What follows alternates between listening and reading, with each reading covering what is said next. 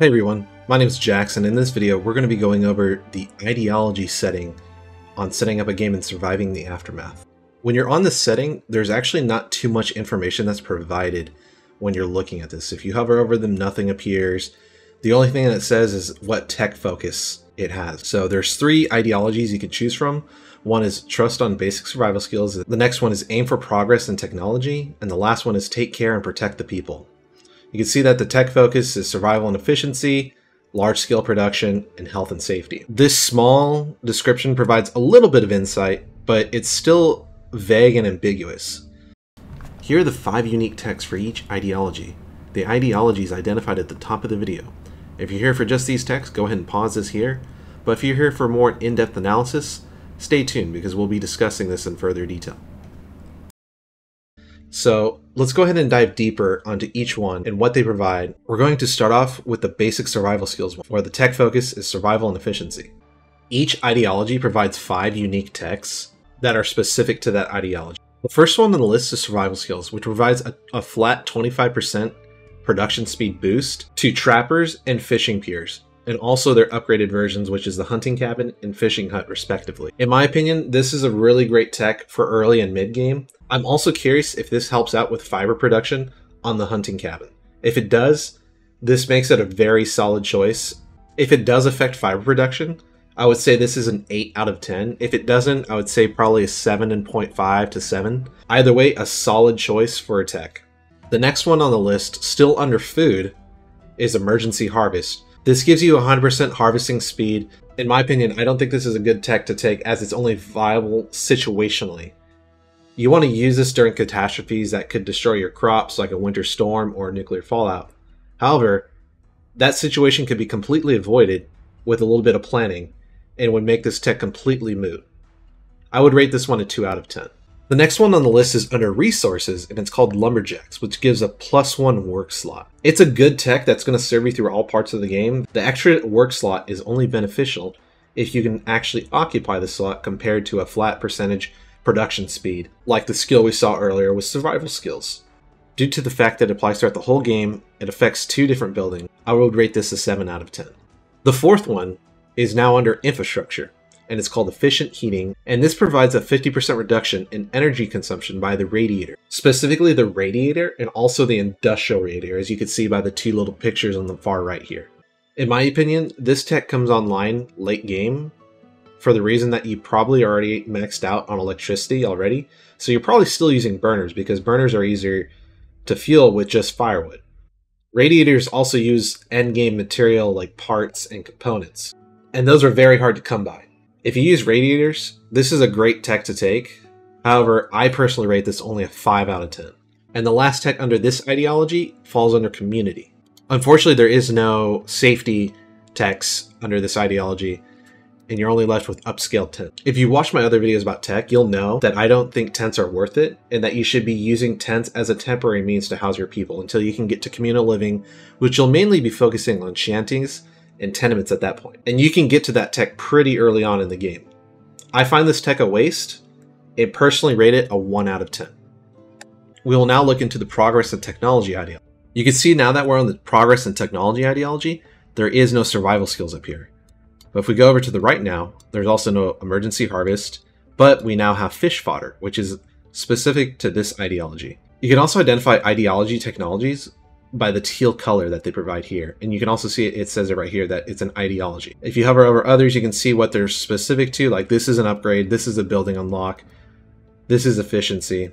The first one on the list is fish fodder, which provides a flat plus 3 to fish production for Aquafarm. This is a decent mid to late game upgrade if you're focusing on Aquafarm. However, I find Aquafarms too costly with 60 concrete as a requirement and needing a large body of water, and they also produce pollution. I personally rate this a 5 out of 10.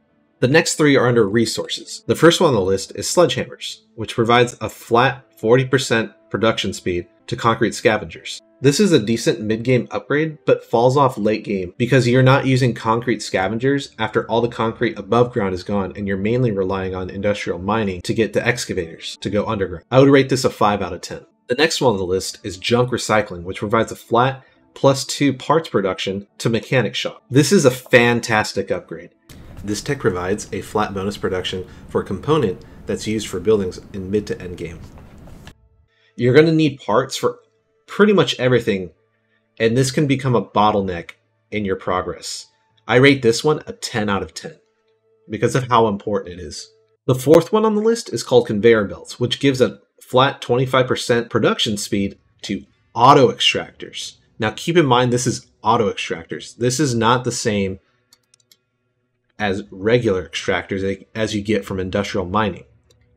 You have to unlock mass production, which unlocks the auto extractors. With that being said, it only affects the auto extractors, and therefore it would only work for a late game upgrade. However, because of how strong it is, I still rate this a 7 out of 10. The last one under this ideology is called panel coating, which provides a flat 40% durability increase to both solar panels and large solar panels. I personally believe that most durability upgrades are a waste of tech and should be saved for last. However, solar panels are prone to malfunctions and lightning strikes. This is applicable from early to late game, but I would still rate this tech mediocre at best. I give it a 3 out of 10. We'll now look at the last ideology, which is take care and protect the people with a focus of health and safety. This ideology has nothing in food, nothing in resources, and nothing in infrastructure. Everything is only in community and safety.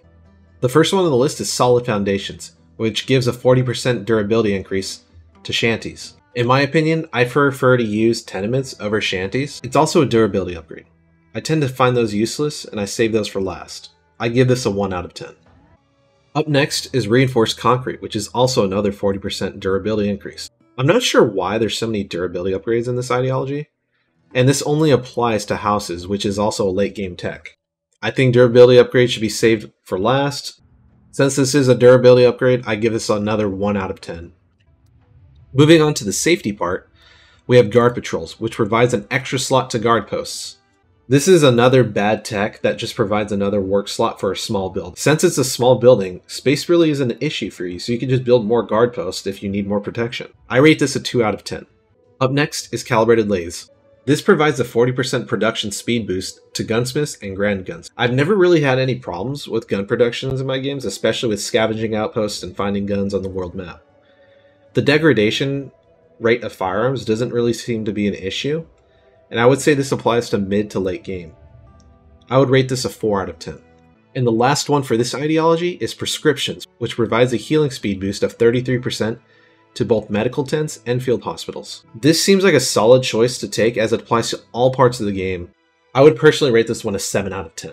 Now that we've gone over all three ideologies and their specific techs, let's give an overview and my thoughts on each one. If we take the average of all five scores across each ideology, we come out to 4.6 for survival and efficiency, 6.0 for large scale production, and 3.0 for health and safety. In my opinion, if you are struggling with the game early, survival and efficiency is probably the best one to go with since it focuses a lot on the early game. I say take the survival and efficiency early game because the flat percentage boost to trappers and fish piers and also their upgraded versions. You can also benefit from an additional work slot on the lumber yards and the logging camps. Emergency harvest is also beneficial in case you forget to harvest your fields before a catastrophe. Upscaled tents is unfortunately a waste of tech, and efficient heating for radiators doesn't really come into late game. If you're someone who's experienced and are trying to do harder difficulties, I highly suggest taking the large scale production ideology as it benefits you for mid to late game stuff. This ideology is good for pretty much any player, but it mainly focuses on to the mid and late game. The biggest star of this show is junk recycling with the plus 2 parts production to the mechanic shop. The other items like panel coating, which is just a durability increase to solar panels, sledgehammers, which gives concrete production speed boost of 40%, as well as conveyor belts for the auto extractors, and of course, a plus 3 to fish for aquafarms, which is a decent upgrade. All of these techs are pretty solid, but the biggest one here is junk recycling. That's a huge one. I do not see a scenario where taking the health and safety ideology is beneficial. Most of the tech provided there seems to be a waste, with the only beneficial tech being the prescriptions, which gives that flat percentage speed boost to healing speed. And that's it for wrapping up ideologies on surviving the aftermath. If this guide has helped you in any way, I'd greatly appreciate a like and perhaps even a subscribe. Uh, leave down a comment below if you learned anything new or if you have any questions, comments, or concerns. I hope this was helpful, and I'll catch you next time.